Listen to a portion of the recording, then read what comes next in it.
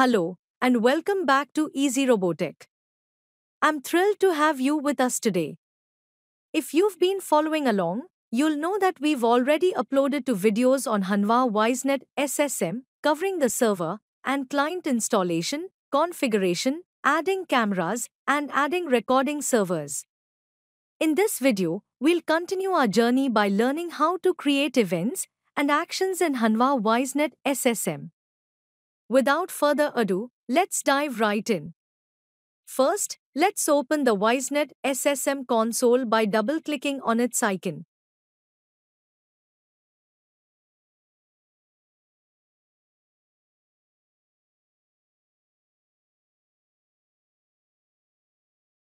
Once the software is fully loaded, navigate to the configuration by clicking on the plus button.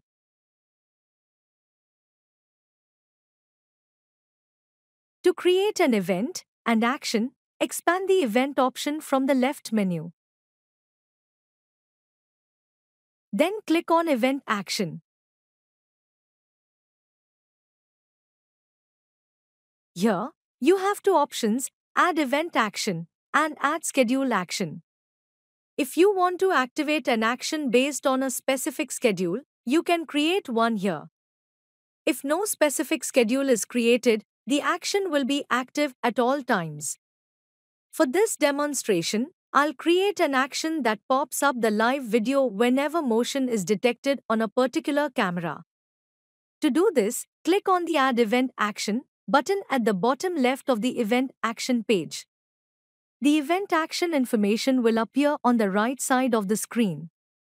Start by renaming the action according to your needs, for example, pop-up for XYZ camera. Then, enter a description for this action.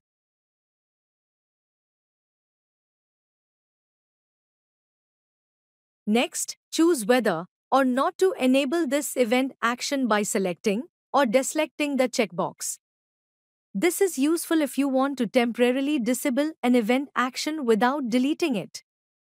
Set the return time and schedule.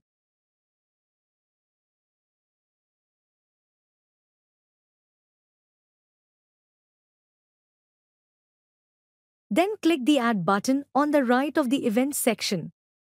Now, select the device or camera that will trigger the event. After selecting the device, an event dialog box will appear. Here, you'll see a list of events such as motion detection, IVA, crossing, enter, exit, and more.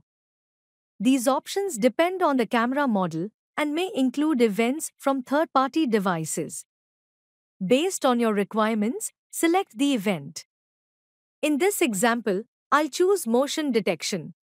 Once completed, click on the Close button to finalize the event setting. To configure the action for this event, tick the checkbox for pop-up. If you want the live video to pop up, or choose other actions like sending an email or mobile notification based on your needs. Next, to create the action, click on the Add button on the right of the Actions section. The Actions dialog box will appear. Select the device that will respond to the event from the device tree. Then choose the method for the event action under Actions. For example, you can select Instant Live View, Instant Playback View, or others based on your needs. Once selected, click the Close button to complete the setup. If you want an alert sound to notify the operator, you can enable the client to play a sound.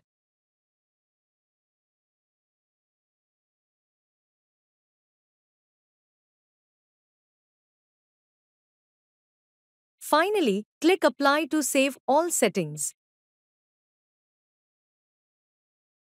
Now, I've set up an event action where a pop-up with live video will appear on the client screen whenever motion is detected on the specified camera. Let's test this setup. As you can see on the screen, when motion occurs, the instant live view pops up with a notification. I hope you now have a clear understanding of how to create events and actions in Hanwha WiseNet SSM. In the next video, we'll dive deeper into additional configurations like mapping and more. If you found this video helpful, please give it a thumbs up, share it with others, and don't forget to subscribe to EasyRoboTech for more tech tutorials. Thanks for watching and see you in the next video.